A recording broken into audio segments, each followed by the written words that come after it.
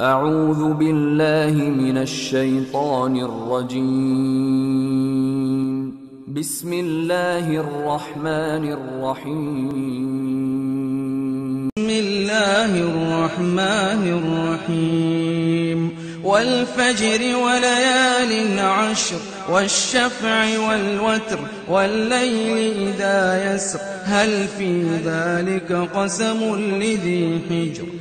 ألم تر كيف فعل ربك بعاد إرم ذات العماد التي لم يخلق مثلها في البلاد ওয়ালাইকুম সালাম রহমতুল্লাহ বরকাতহু আলহামদুলিল্লাহ ওয়াহদা ওসালাত ওসালাম আলাম আল্লাহ নবী বাদা ভাইজান জিজ্ঞেস করছিলেন তাকুয়াটা কি তাকুয়াটা আসলে কি মানুষ কিভাবে তাকুয়াশীল হতে পারে সম্মানিত ভাই তাকুয়া সম্পর্কে আহ, ইবনে তাইমিয়া রহমাল্লাহ তার মাজমা ফাতা গ্রন্থে একটা তাকর সংজ্ঞা নিয়ে এসেছেন তো সেখানে তিনি বলছেন, চারটা জিনিস যার ভিতরে থাকবে সে তাকুয়াশীল হতে পারবে। চারটে জিনিস তিনি উল্লেখ করেছেন। এক নম্বরে উল্লেখ করেছেন যে, প্রত্যেকটি আমলে যে আমলগুলো মানুষ করবে এই আমলের ক্ষেত্রে আল্লাহ এবং তার রাসুলের অনুসরণ করা লাগবে। যে কোনো আমল যেটা আপনি নেকির জন্য যে আমলগুলো করবেন এই আমলের পূর্বে আপনাকে আল্লাহ এবং তার রাসুলের অনুসরণ করতে হবে। আল্লাহ বলছেন মাইয়তে আর রাসুলা ফাকাদ আত আল্লাহ। যে ব্যক্তি রাসুল সাল্লাহ সাল্লামের আনুগত্য করল, সে যেন আল্লাহর আনুগত্য করল। আল্লাহ বলছেন আইজুহাল্লাদিন আমানু আতি আল্লাহ ও আতি রসুল ওয়ালা তুবতিলু আমাল আকুম হে ইমানদারাকুন তোমরা আল্লাহ এবং তার রসুলের আনুগত্য করো। যদি না করো, তাহলে তোমাদের আমলগুলো বরবাদ হয়ে যাবে। আল্লাহ বলছেন, কুল ইন কুন্তুম তো হেব্বুন আল্লাহ ফাত্তাবিউনি ইহবিবুকুমুল্লাহ ওয়া ইয়াগফির লাকুম যুনুবাকুম, আল্লাহু গফুর রহিম। হে নবী, তুমি বলে দাও যে ইনকুন্তুম তো হেব্বুন আল্লাহ, তোমরা যদি আল্লাহর ভালোবাসা পেতে চাও, ফাত্তাবিউনি, তাহলে আমার অনুসরণ করো। তাহলে আল্লাহ তোমাদের ভালোবাসবেন, তোমাদের পাপরাশি তিনি ক্ষমা করে দিবেন, তিনি ক্ষমাশীল দয়ালু। তাহলে এখানেও রাসূল সাল্লাহ সাল্লামের অনুসরণ করলে আল্লাহর ভালোবাসা পাওয়া যাবে, আল্লাহ ক্ষমা করবেন। তাহলে যেগুলা ইবাদত। ইবাদত আমরা জানি যে ইবাদতে আমরা নেকির উদ্দেশ্যে আমরা ইবাদত করি। তো যতগুলা ইবাদত রয়েছে, এটাতে আল্লাহ এবং তার রাসুলের আনুগত্য করা লাগবে। আনুগত্য না করলে হবে না। তাহলে এক নম্বরে তাকশীল হতে হলে, পরিষ্কার হতে হলে, মুত্তাকি হতে হলে প্রত্যেকটি আমলে এবাদত বন্দিগিতে আল্লাহ এবং তার রাসুলের আনুগত্য করতে হবে। এ মর্মে আবু হুরায়রা বলছেন, আল্লাহ রসুল সাল্লাহ সাল্লাম বলেন যে আমার প্রত্যেক উম্মাত ওই জান্নাতে যাবে। তবে তারা নয়, যারা অস্বীকারী। আল্লাহ রসুল সাল্লাহ সাল্লাম জিজ্ঞেস করা হলো, হে আল্লাহ রসুল সাল্লাহ সাল্লাম অস্বীকারীকে তিনি বললেন, মান আত আনি দাখালাল জান্না মান আসানি ফাকাদ আবা। যে ব্যক্তি আমার অনুসরণ করল, সে জান্নাতে যাবে। আর যে ব্যক্তি আমার অনুসরণ করল না, সে জান্নাতে যদি অস্বীকার করল। তার মানে তার বিপরীত। ইমাম বুখারি রহমাল্লাহ হাদিসটি নিয়েছেন। জি, এ মর্মন্য হাদিস রয়েছে।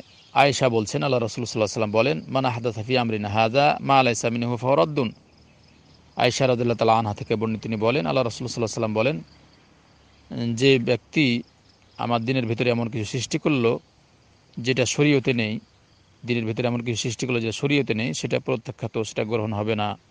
ইমাম বুখারি, মুসলিম উভয় গ্রন্থ হাদিসটি এসেছে যে, দুই নাম্বারে, সকল প্রকার পাপ ছাড়া দেওয়া লাগবে। যে মুত্তাকি পরিষ্কার হতে চায় তার জীবনে পাপ করা যাবে না।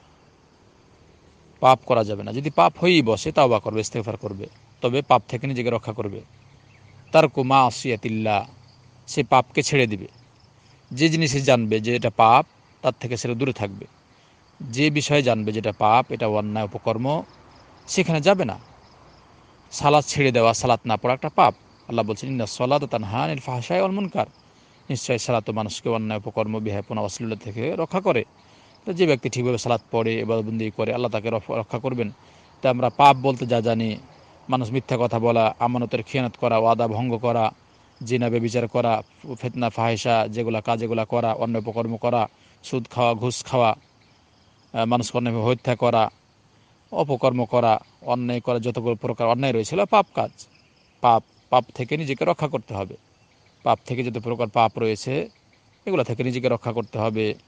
অন্যায়, অশ্লীল বিহাপনা এই থেকে নিজেকে রক্ষা করতে হবে। যত প্রকার পাপ রয়েছে, এর থেকে নিজেকে রক্ষা করতে হবে। তাহলে যত প্রকার পাপ রয়েছে, পাপ ছেড়ে দেওয়া, আপনার উপর জাকাত ফরজ আপনার জাকাত দিচ্ছেন না, এটা পাপ। আপনার উপর হজ ফরজ, আপনি হজ করছেন, এটা পাপ। সিয়াম ফরজ হয়েছে, আপনি সিয়াম সাধন করেন, এটা পাপ। সালাদ ফরজ, আপনার উপর সালাদ পড়েন, এটা পাপ। আপনি সুদ খাচ্ছেন, এটা পাপ। আপনি জিনা করছেন, এটা পাপ। মিথ্যা কথা বলছেন, পাপ। আপনি আমানতের খেয়ানত করছেন, পাপ। ওয়াদা ভঙ্গ করছেন, পাপ। অন্যায় অপ- অপকর্ম বিহায়পন অশ্লীলতা, কাজ করছেন, এগুলো পাপ। এগুলো হলো পাপ। কোনো ছেলে মেয়ে অপরে ভালোবাসা করছে, বিয়ে চলে যাচ্ছে, বের হয়ে বিয়ে বিবাহ করছে, যেটা হলো বিবাহ হয় না, এগুলো পাপ। তো পাপ থেকে যত প্রকার পাপ রয়েছে, নিজেকে রক্ষা করতে হবে।